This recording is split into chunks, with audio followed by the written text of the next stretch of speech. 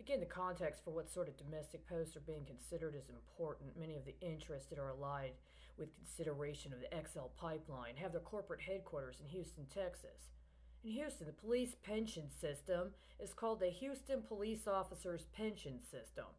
It goes by the acronym HPOPS.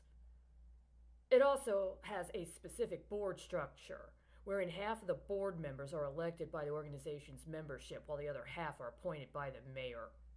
Is this a sort of corollary to the concept of matching government funding for programming via the United States Agency for International Development with private equity, as was announced, were to be the aims of the United States International Development Finance Corporation in 2018 for implementation by the end of summer of 2019 regarding United States Department of State related functions abroad.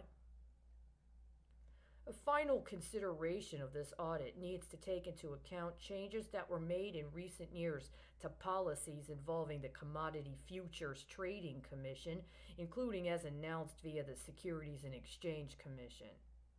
On August 16, 2016, the Commodity Futures Trading Commission implemented new rules requiring security based swap dealers and major security based swap participants to provide trade acknowledgments and to verify those trade acknowledgments in security based swap transactions. The Commission also is amending Rule 3A71.6 under the Exchange Act to address the potential availability of substituted compliance in connection with those trade acknowledgement verification requirements. Page 1. I'm stopping here. It's completely extortionate in your race based automation murder scheme to sabotage my attempts to communicate information until you can put your fucking cover up in. Every fucking time you violate an appropriate process by which to report so that you can say, oh no, wait a second, uh, no, you caught me, so I'm gonna kill you and I'm gonna knock you off and I'm gonna fuck with you until I can insert myself as insurance. Do you provide the fucking cover up for what I did? Every fucking time, all you've proven is that keeping you in your position allows for the automation chain to consistently murder that precisely.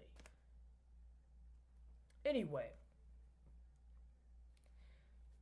according to, quote, B, cross border application and availability of substituted compliance, end quote, quote, the Commission also proposed rules to establish a framework to permit market participants to satisfy certain requirements by complying with comparable regulatory requirements of a foreign jurisdiction.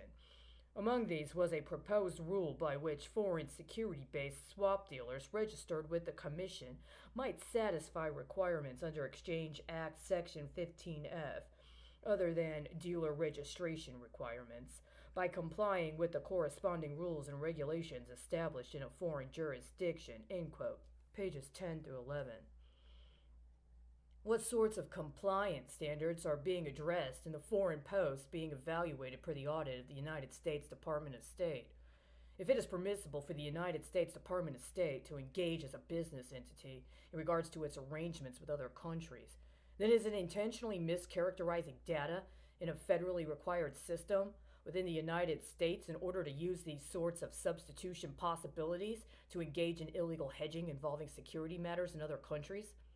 The audit reveals a potential to allow for a substitution of standards in other countries when it comes to confirmation on a transaction originating in the United States and making any noncompliance or default appear as if it were because of the standards applied or enforced in another country.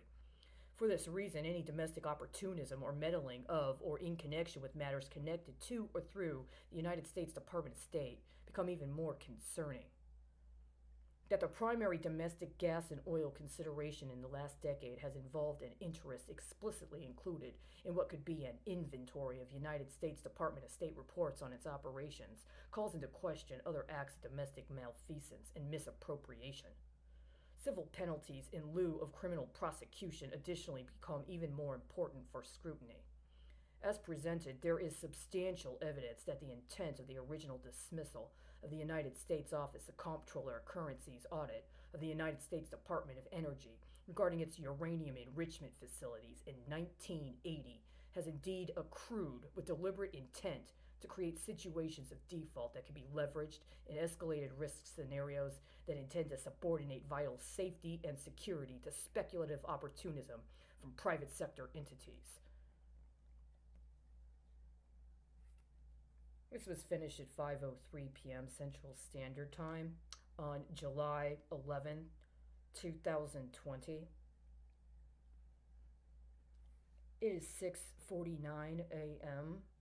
Central Standard Time on Monday, July 13th, 2020.